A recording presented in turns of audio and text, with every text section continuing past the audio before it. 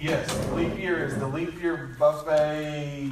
You bring a holiday, yeah, the potluck, bring your holiday party food. Yes. Some of you are bringing brats and fruit beer, and the others of you are bringing, uh, so there'll be a sign up that starts next week. Gonna be in town. So, leap year, the 29th, we get it once every four years, so. Uh, You do your job. Mark chapter 2. We talked uh, about this passage of scripture uh, last week. We introduced it and looking at all three sh- of these short stories in a collective fashion. Um, and you guys did just an outstanding job catching the, the big overall picture of what took place in this passage and how Mark lays in these three stories. Now, uh, we're going to go back through it again and just kind of slow down and look mainly tonight at the 18 through 22. Just sort of talk through it. This is another one of those nights where tonight, um, uh, thank you for coming. The but the the clear, obvious applications to this passage are clear and obvious. Like this is not one where you're like, man, I really need Pastor Randy to tell me what to do, how to understand this. There's no hidden knowledge. There's no secret aha moment at the end. This is just pretty basic Bible study, uh, pretty basic stuff.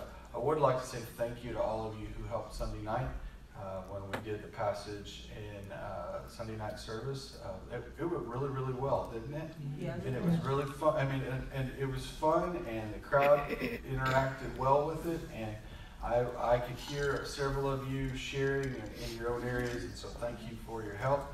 And uh, I just I thought it went really, really well. So it was good stuff.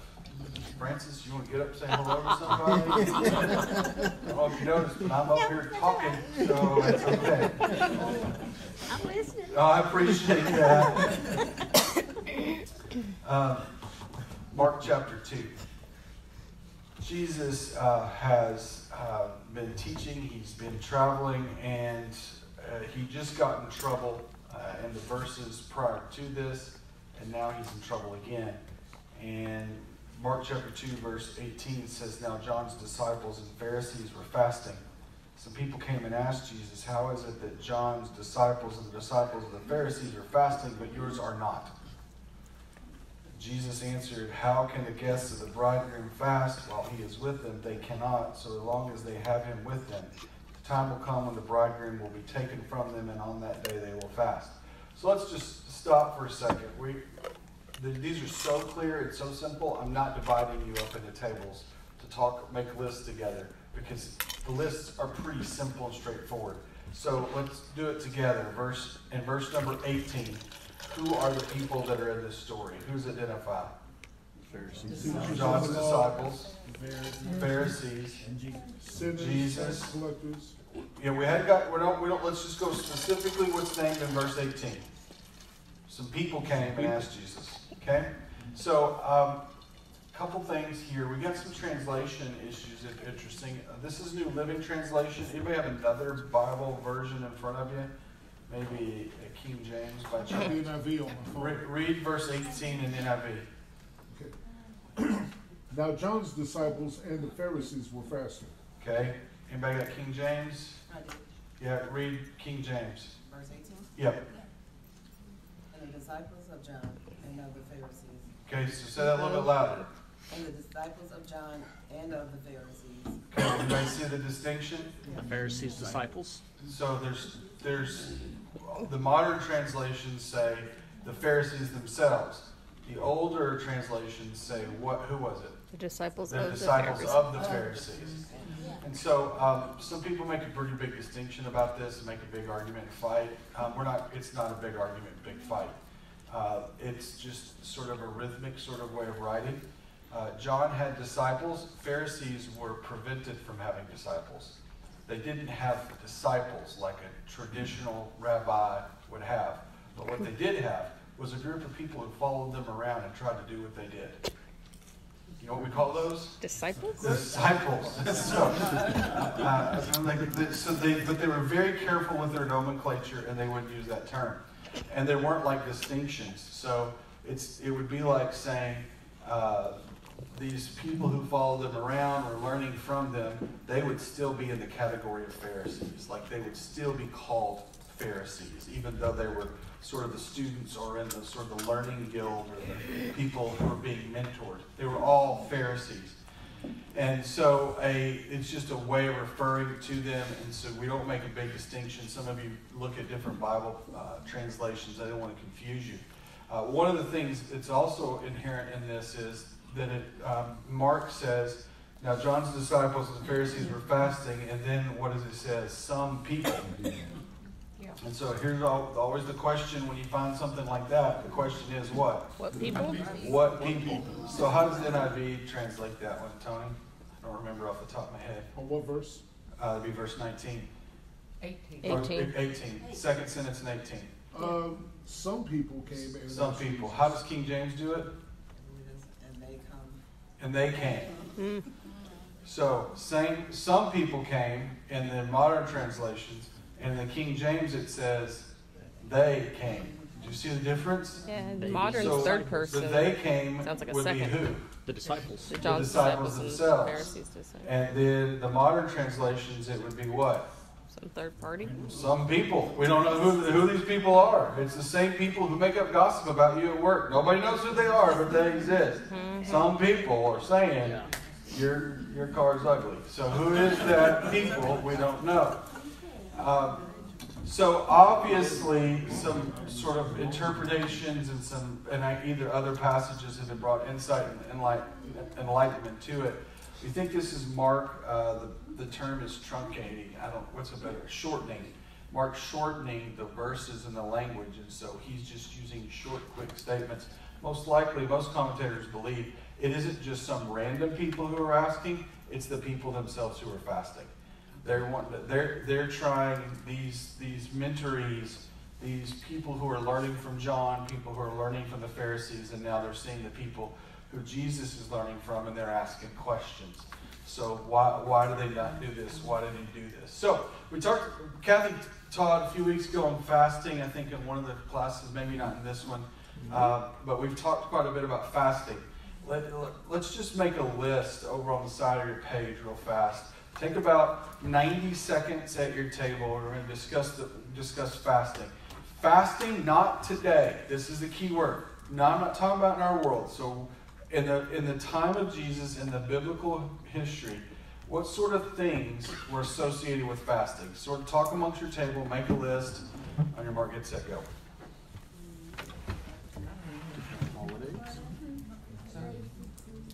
We?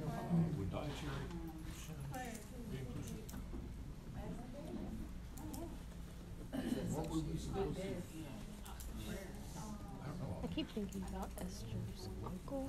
What, what What? were? He's all like covered in sackcloth and ashed his What's the. Bible say about fasting?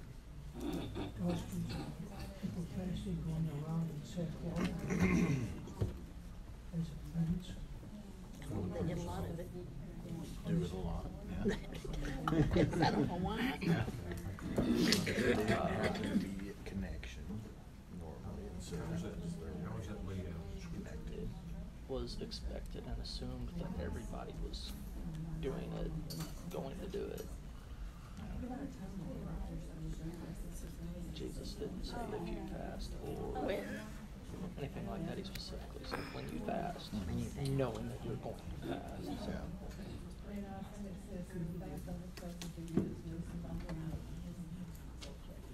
Everybody's doing it. Everybody's doing it. I don't see them peer pressure easily. We'll wash your face when it goes- Granted, he's not your peer. Where it doesn't appear, these don't be like the religious leaders or Pharisees who, who make it obvious that they're fasting. Because they're, They they're fa- trying keep to, fasted leading up to they're, they're trying to be challenging. recognized. events. All right. What's what you come up with? Fasting associated with what?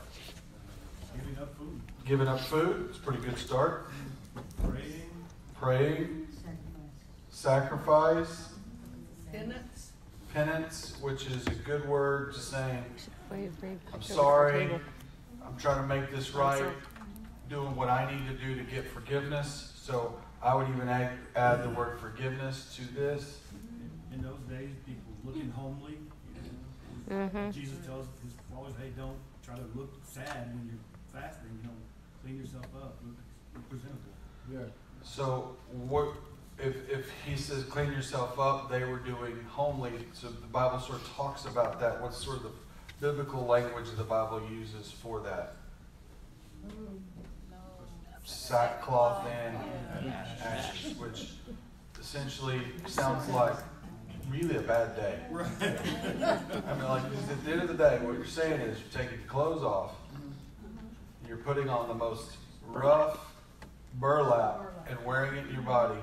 You're taking the ashes out of the fire, pouring it all over yourself, and you're going and sitting in front of your house. Okay?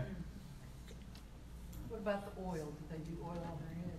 Uh, not typically around fasting, but but as part of part of that sort of religious practice, it wouldn't be disassociated with religious practice. So here's a question that none of you know the answer to, so I'm going to ask it and then hold pause for a second and then give you the answer. When does the Bible, the law specifically, tell Jews to fast? I guess it doesn't. It only tells them one time. Jews were to fast one day a year, the Day of Atonement. According to Scripture in the Old Testament, good Jews fasted one day a year and are actually told at other times not to. Okay, okay, right, just hold on. Okay, because then the other side of the coin here says, well, wait a minute. What about all these dudes with sackcloth and ashes? Right? So where would that come from? The made-up laws they made. The made up rules that they made. At the same time, some of you who are astute biblical theologians know wait a minute. I know Isaiah talks about fasting. I know Joel talks about fasting. So, on the magic whiteboard up here, that has now been cluttered with these ancient church windows. Uh, you've got to, you have to, we've got to grab hold of this idea about the Bible. The Bible is not 100% the same all the way through it. It represents thousands of years of the way they work. So think about it this way. Do we do church, our church practices, the way we connect with God and worship, exactly the way the people of First Assembly did 100 years ago? No. So in a hundred years, we've changed. Can you imagine how much change took place in Jewish practice in the 2,500 years? And whole time periods where the law was gone and hidden, or where there was no temple, or they were in exile. You see what I'm saying? And so there was no passing on generation to generation to generation and do it. At the same time, it was like a really big epic game of religious telephone. So your grandfather did it this way and taught your dad how to do it this way, and your dad taught you how to do it this way, and you tell your son how to do this. And if great granddad and son got together, they might have two different ways of how you're supposed to do this. And so during the law period, this is the period of Moses, this is the period following it where we're close to it. You have certain ways to practice. Then when you get to uh, future, when you have the king and the temple and those things are built, you have certain ways of practicing your faith. When the temple is destroyed, you get to another period. We call, let's just call it the period of the prophets because it's such a massive, we could get bogged down in it. And the prophets, they have a different set of times. So prophets talk about fasting. And so if there's only one day a year that you're supposed to fast according to the law, that's all that's required. And yet, Jews are taught by the religious, religious leaders. Zechariah talks about the seven other fasts that take place. And he doesn't even tell you what they are. He just says our people are doing it. And so, um, um, so let me read for you some of the extra, like non-found in the Bible fasts that he's referring to. Uh, and let me and listen closely to how they're described and what they're fasting for. Okay? In the fourth month, Um, there is a fast on the 17th of the fourth month, and it's to commemorate the breaking of the tables or the tablets of the law. You fast to remember the day that Moses broke the Ten Commandments. Okay? Secondly, on the ninth day of the fifth month, you fast to commemorate the destruction of the temple by Nebuchadnezzar. On the third of the seventh month, you fasted to remember the murder of Gedel- Gedaliah, who is found in Second Kings. He was a religious leader. So you're fasting to remember his murder. On the tenth day of the tenth month, you fasted to remember the siege and the taking of Jerusalem by the Babylonians. Why do you fast? To remember what? Bad stuff. bad stuff. And not just bad stuff. This isn't like you missed the sale at Dillard's when the New Year's Day bad stuff. This isn't like bad stuff your car wouldn't start. This was the breaking of the Ten Commandments, the destruction of the temple, the murder of one of those key spiritual leaders, and the taking of Jerusalem by the Babylon, Babylon, Bab- Babylonians. Babylon, blah, blah. Anyway. These are sorrow filled for things that were destructive to your faith. The, the other side of it, then there becomes special called fasts. When, when prophets or other leaders said, We've got to fast. Anybody remember Joel, book of Joel? Anybody remember what was happening during that time? What was, does anybody remember what was about, what was taking place? So those of you who were in the 80s, you sang about it, and it was fun. Everybody clapped, and it was weird. They're about to be destroyed by what? They run on the city, they rush on the wall. Great is the army that carries out his word. You know, this this is Joel, and they're singing about what? Locusts. Which is hilarious that we sang this in church over and over and over again. They rush on the city. We're singing about the invading locusts that are about to eat your. Wilma's laughing. Is Wilma the only one who was with me when we were singing that? You remember that song? We're singing about bugs invading our church. Hallelujah. Nobody had any idea. We worshiped, we sang, we danced Jewish like. And so it was great. Blow the trumpet in Zion. Blow the trumpet in Zion. This is the whole thing. Uh, Sound the alarm. Why would you blow a trumpet in Zion? Why would you sound the alarm? Because the locusts are climbing the walls, and what's going to happen? We're going to get eaten. Okay? So we called a fast because we were about to be destroyed. They wrote a song about it. And they wrote a song about it in 1974. It was a good year. So why would okay? Forget all the humor for a moment. Why would why would Joel the prophet say before they come and get you, fast? What's the hope? Turn your heart to God. That God would see what's going on. What did you what did you say in the back? They have less to eat. They have less to eat, so yeah, it's like we got, we're going to fast because we don't. We, the, the locusts have eaten our food. So um, uh, you're fasting. God help us. Um, we're fasting because we're trying to get God's attention. We're trying to sig- signify that we're sorrowful. We are repentant. We're not just saying, God, I'm sorry I've sinned for hundreds and hundreds of years. Would you please save us? then we're taking to the actions of humiliating ourselves and of, of what you might even call harming ourselves to prove to you and to show you that we're dependent on you and not our, our, ourselves, and you need to come to our rescue. Interesting enough, it didn't work in Joel, they still continued to come. Um, so, fasting, posit all that stuff together. On top of that, Pharisees, they show up.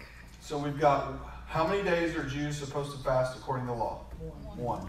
We know they've added several more to prove they're sorrowful and they're trying to, to make it right. The breaking of the Ten Commandments. I mean, just even me saying it out loud, the breaking of the Ten Commandments. That's bad. And it has to do with what? How you live and how you act. The destruction of the temple how you connect with God. So this is about holiness and integrity. This is about religious practice and how you worship. Um, all these components. On top of that, Pharisees decided that wasn't enough. So they added two days a week that they fasted. A good Pharisee fasted on Monday and Thursday. And this was kind of like the deal. Like, if you want your Pharisee card, you got to pay the dues and you got to fast on Mondays and Thursdays. And uh, the fact that we know that they fast on Mondays and Thursdays 2,000 years later tells us what about the time that they were fasting? Kept records. They kept records and they let people know what they were doing. Does this remind you of any of other Jesus' teachings on fasting? What not to do? Would- Wash your face. And so it would be something like this. We'd all be Pharisees. So Sunday we would eat big.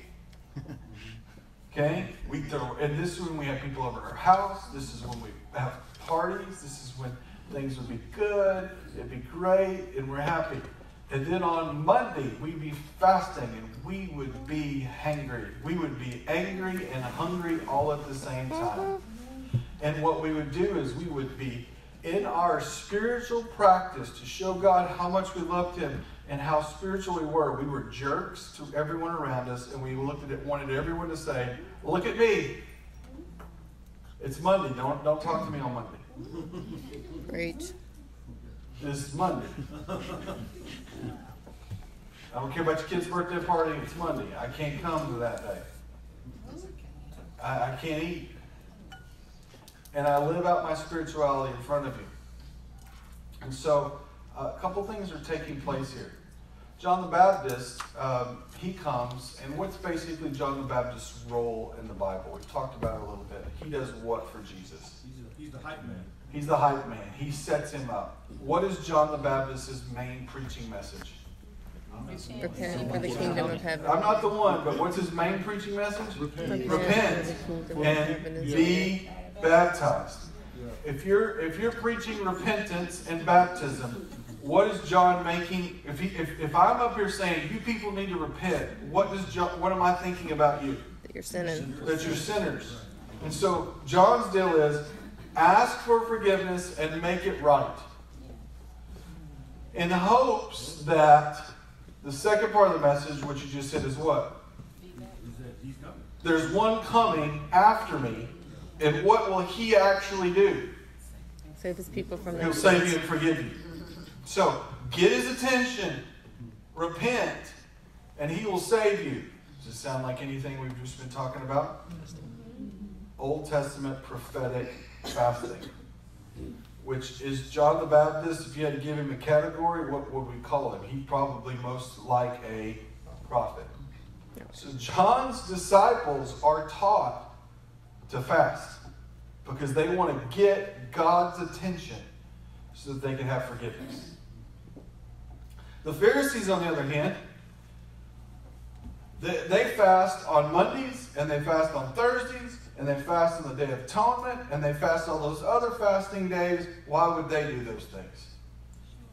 Show off, but let's give them a break a little bit. Let's just say they start, maybe they do it for show off purposes, but what's their sort of motivation with everything they do? This is what you're supposed to do. It's what you're supposed to do. It's beyond what you're supposed It's to do. beyond what you're supposed to do with the purposes of what? What is, what is supposed to do get you? Making sure you follow the law Points with God.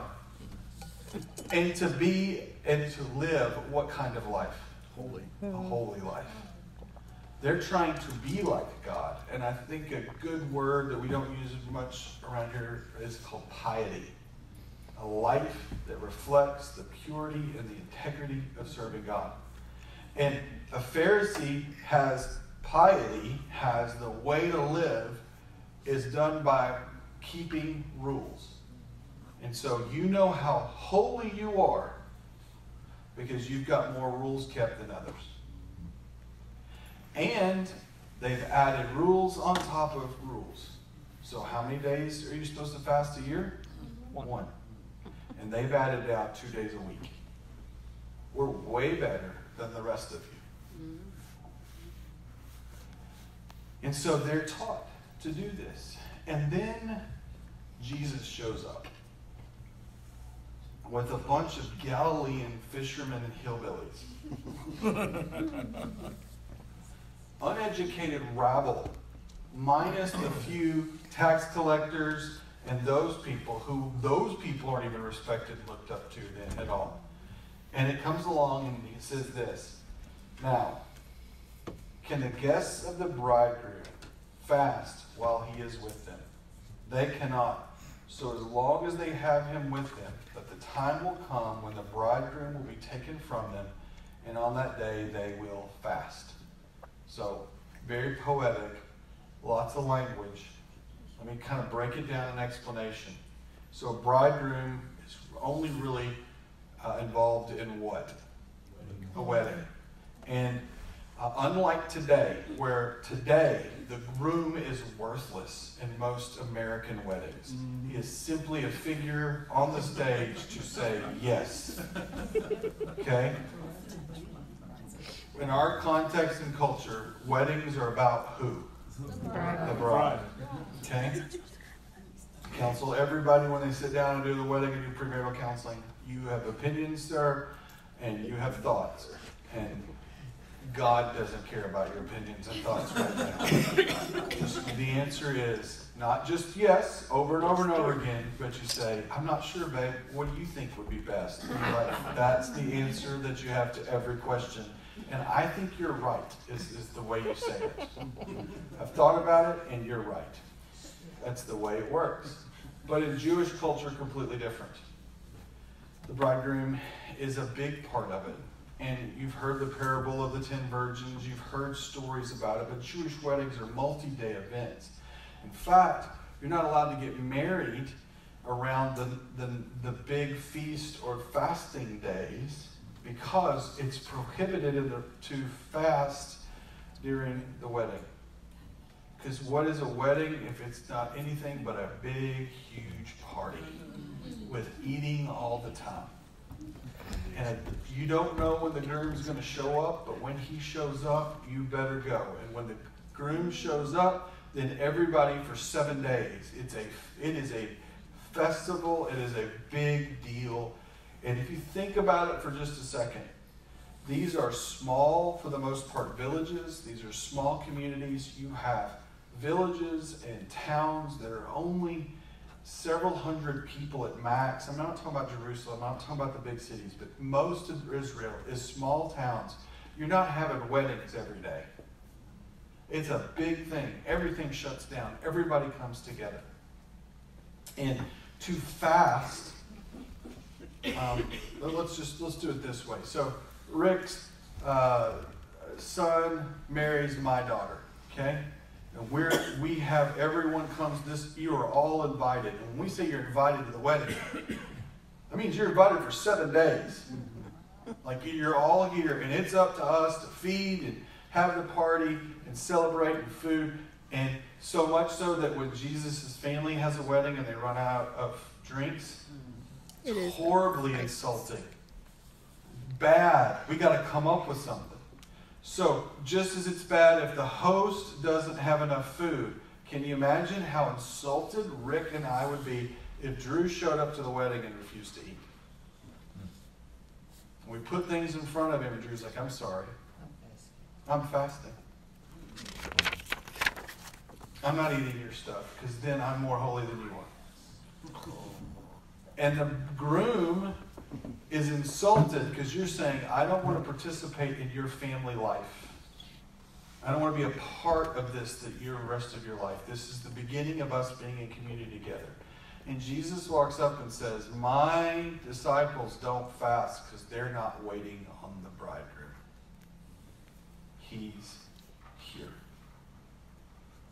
And they're only going to have me for a little while. So, Pharisees, they fast. What was that word that began with P? I called. I said just a minute ago. Piety, for the purposes of trying to make things look right and trying to be holy and to do what's right.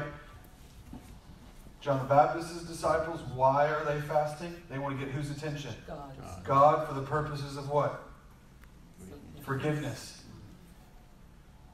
Do Jesus' disciples have to get God's attention? Nope. Because he's there. In fact, to waste time trying to get his attention would miss the opportunity for his individual instruction. Okay? Same thing happens with the Pharisees' concept of piety. So I've got two minutes left. So let me land this plane and give you some, some walking away thought processes. First, um, just how do I, let me say it differently for time's sake. I think there's a tendency in all of us to want to go to great lengths to try to get God's attention with our actions. When we, as the body of Christ and the bride of Christ, have Him side by our, by, right by our side. We go to elaborate things to get His attention for forgiveness and grace when all we have to say is, Hey, Jesus. And John the Baptist's disciples were trying to bring in this moment, and it wasn't anything they could do. Uh, secondly, I think many times we fall into the same trap of Pharisees, especially when it comes to spiritual practice, and we say, if we can just, if I can create the right set of actions and equations to move God's hand, if I can do the right kinds of things, I can give the right amount of money, spend the right amount of time, read enough Bible verses, attend enough church enough times a week, not watch this thing, do this here. If I can get the right system of yeses and nos in my life together, then God will call me holy. I can just manipulate the systems. Missing, of course, the whole overall thing. That Jesus has invited us to relationship with Him and His ever-present help in a time of trouble. His closer, He's a friend who sticks closer than a brother. He's as close, and the song goes, as the mention of His name. Uh, he is not far from us, He is beside us. And we don't have to get His attention because He is shaking us to look at Him. And all the actions and the machinations and the stuff we come up with somehow to make God happy and pleased are simply not as important as obedience. Because listen to this carefully, make sure I say it right. This is what I think, not what I know, because I'm talking about extra biblical stuff. I think if you had Randy the Pharisee and Drew the Pharisee, and we were standing side by side, and Randy the Pharisee fasted one day a year, as the law said, but tried to please God with his whole heart, his whole mind, and whole understanding, and all his ways acknowledged him. And then you had Drew the Pharisee, who was trying to do all these other festing things that weren't commanded. When we stood before God, Drew would say, Look how many things I did right. And he only did it once, and I did it two days a week. I think Jesus would look and say, Yes, but he did what I asked, and you were doing what you want to get my attention. You are in a competition with others to stand above them, and he, he is one who is in a place to receive grace through obedience. Competitive spirituality and spirituality for the sake of others' happiness will ultimately lead you to forming your own Pharisee guild and your own group of people who compete with others to get God's attention when all the time Jesus says, You don't need, I don't you don't have to get my attention because I'm looking right at you. So why doesn't Jesus teach his disciples to fast? Well, the first reason, and we'll talk about the second one next week, but the first reason is this. He was there. He already had their attention. And this week, don't fall into gimmicks to get God to do something for you. Fall in love with Jesus and watch what he does, what he needs to do. Have a great night.